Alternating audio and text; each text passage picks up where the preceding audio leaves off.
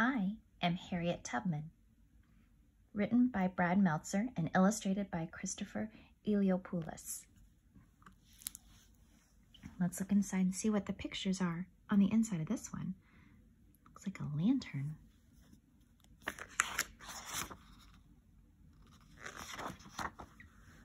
I am Harriet Tubman. Do you know what the North Star is? It's one of the brightest stars in the sky. Unlike other stars, which may seem to move, the North Star always stays where it is. When you find it, I'll show you which way is north. Today, people know my name is Harriet Tubman, but when I was born, I was called Araminta, or Minty. I was the fifth of nine children born in Maryland around 1822.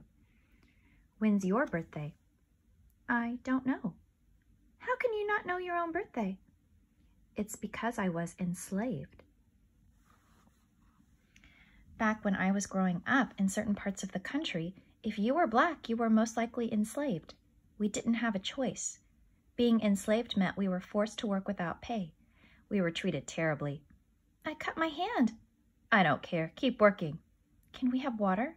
No, keep going. We lived in tiny shacks with no windows. We slept on the floor or in boxes filled with straw.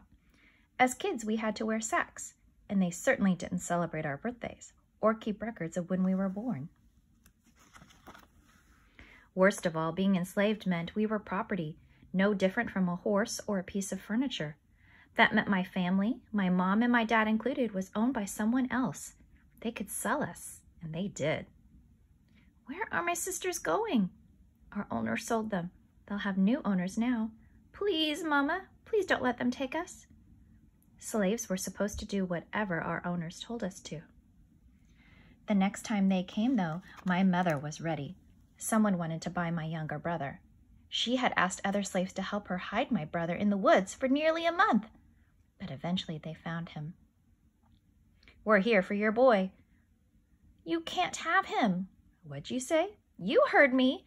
The first man that comes into my house, I will hit him square in the head. It was a powerful moment, my mother standing up to those men. Was it dangerous? Definitely, but it was right. After that, they didn't sell my brother. As early as I can remember, I loved listening to my mother tell stories. She taught me some of life's most important lessons. Being enslaved, it was against the law for us to read or write but she told me stories from the Bible, including the tale of Moses. He was the leader of the Israelites. He led them out of slavery to freedom. Freedom? From slavery? Huh? I like this story. When I was around six years old, it was my turn to start working. I still lived with my family, but my owners hired me out to another farm. Seeing that water, we set traps for muskrats in there. Get in and see if we caught any. But the water, it's freezing. You talking back to me? You get in that water or else. What would happen if we didn't do what they said? Our owners would whip us or worse. You stopped working? Now you're in real trouble. I know it's scary, but by hearing my story, I hope you'll find strength you never knew you had. That's what happened when I was around seven years old. I was working in my owner's house and went to grab a lump of sugar from a nearby bowl I'd never tasted sugar before. It looks so good. How dare you touch my sugar? She reached for something to hit me with. I ran as fast as I could. When I got to someone else's farm, I hid in their pig pen. That's how scared I was. For five days, I stayed there, hiding in the mud, fighting the pigs for potato peelings and scraps of food. Eventually, I was starving and came back. But when I did, they beat me. But now people started to realize I wasn't afraid to protect myself. By the time I was 12, I was working outdoors every day where the hardest work was done.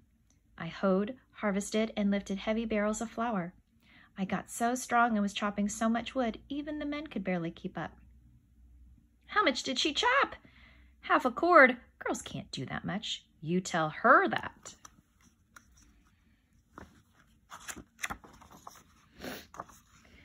Working in the fields gave me more than physical strength. It gave me time to learn from other enslaved people time con to consider new ideas. Did you hear? Three slaves escaped from the Brodess plantation. Escaped? They went up north out of Maryland where slavery is illegal. Up there, everyone's free, just like we should be. During that time, I spent many nights looking at the sky. My father was the one who taught me about the North Star. It always points north. That's where black people are free, right? In the north? Exactly. Follow the North Star and you'll always know you're headed in the right direction. Since slavery was so terrible, you may be wondering why we didn't run all, all away. It was nearly impossible. One night while doing errands at a nearby store, I saw an enslaved man who had left his farm without permission. Grab him! He belongs to me! I could have stopped that man from running, but I refused to. Enraged, a supervisor from the farm picked up a heavy weight, aiming for the slave. It hit me instead, hard. I got knocked out. It was an injury that forever changed my life. Since I didn't die, I decided God had a plan for me and was guiding and protecting me. After my injury, I started having vivid dreams. I'd be flying like a bird over fields and towns, over rivers and mountains. In the air, I'd reach a great fence, and on the other side would be a big, beautiful field. But each time, no matter how hard I tried, I could never get over that line. When I was around 22, I got married and got rid of my childhood name. Now I was Harriet Tubman. Soon after, I found out that I was about to be sold. What should we do, Harriet? Our new owner may be even meaner than this one. Someone else who could take me from my family and hurt me? I knew there was only one choice. I must escape. My brothers and I planned to escape, but they got scared and turned back, so I went all by myself. I traveled by night following the North Star, just like my family had taught me. Is this the way? It'll always lead me right. I stayed in the houses of people who wanted to help us find freedom. There are slave hunters all over. Wear these men's clothes so no one will recognize you. You're saving my life. I was now traveling on what was called the Underground Railroad.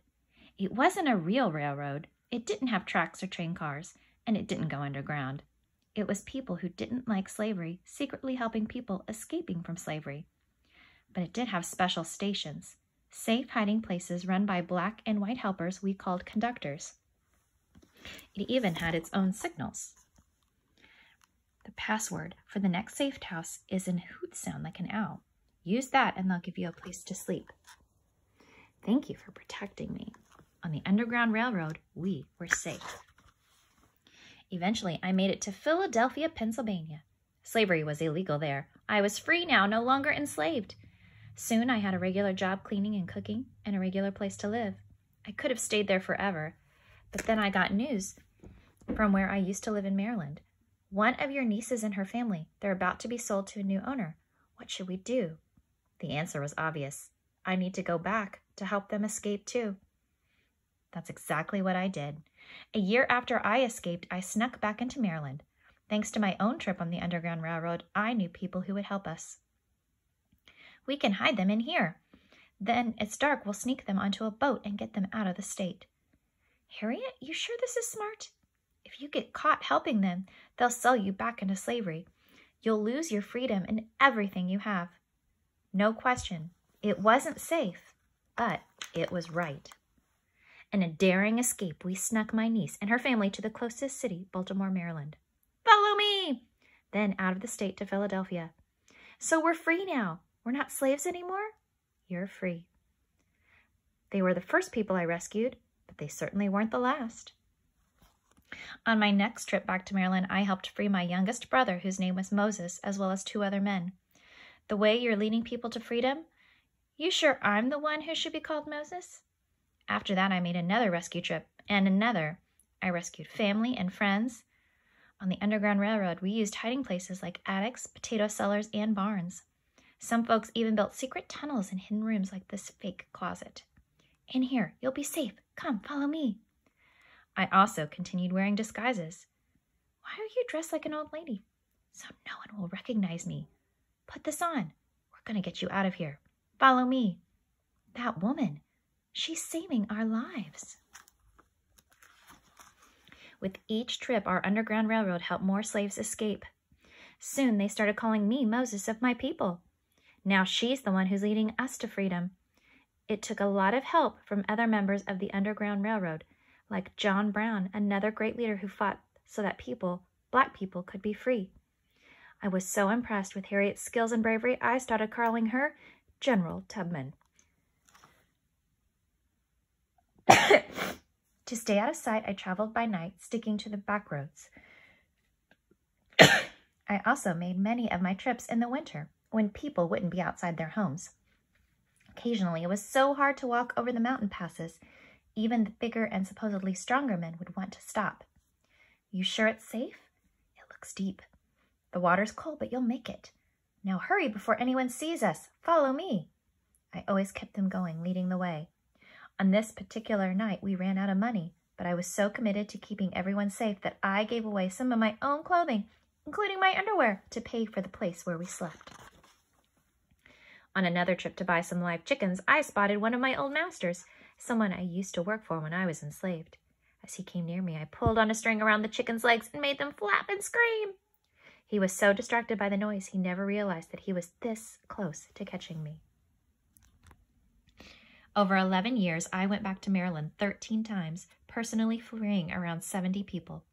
To keep them safe, I led many of them to Canada, which is where I brought five of my siblings, my niece, and even my own parents. My family had been separated for nearly seven years. The more I fought against slavery, the more I realized that the only way to win was to end slavery itself. The chance came as the Civil War began. The northern part of the country wants to stop slavery, the south wants to keep it. At first I took care of wounded soldiers, but soon my best talents were put to use. This is Secretary of War Edwin Stanton. Look at this information she has collected. Harriet Tubman and her spy ring are remarkable. Soon after, I became the first American woman ever to lead an armed raid into enemy territory. With the information we found, we successfully fought the Southern soldiers. Most important, we proved that black people could serve in the military just as well as white people. As a master spy for the North, I led groups of scouts into South Carolina to scope out what the other side was doing. Shh, this way. They won't see us coming. Follow me. Follow me.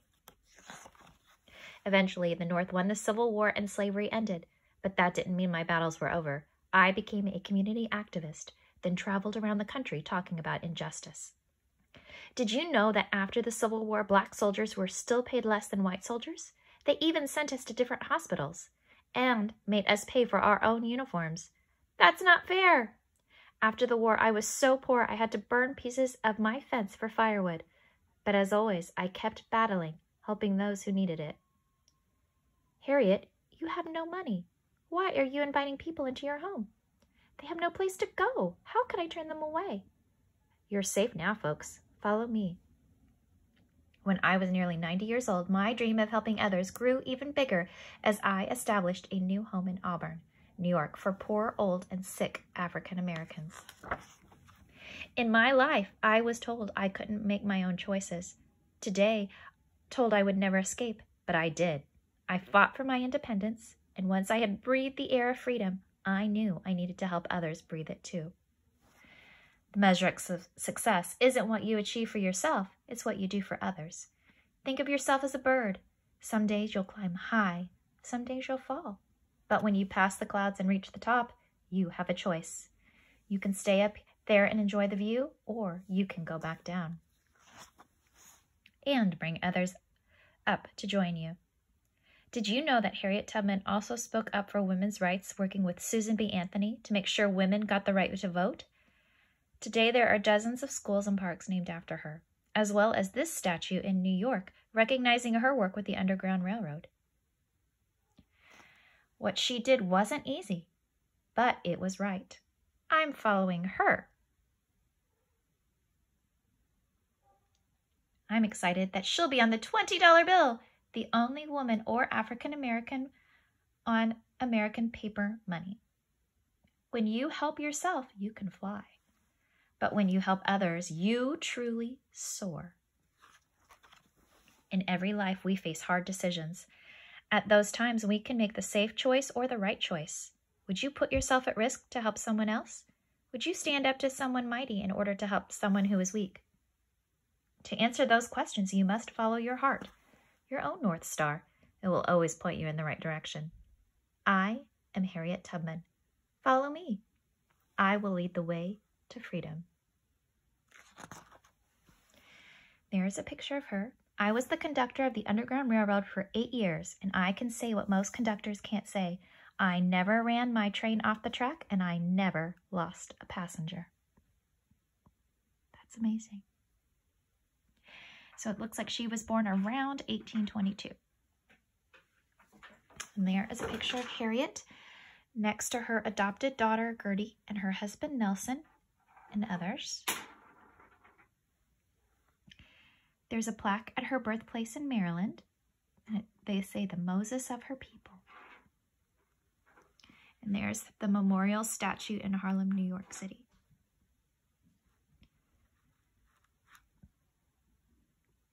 And so she died in 1913. Wow, so she lived to be 91 years old.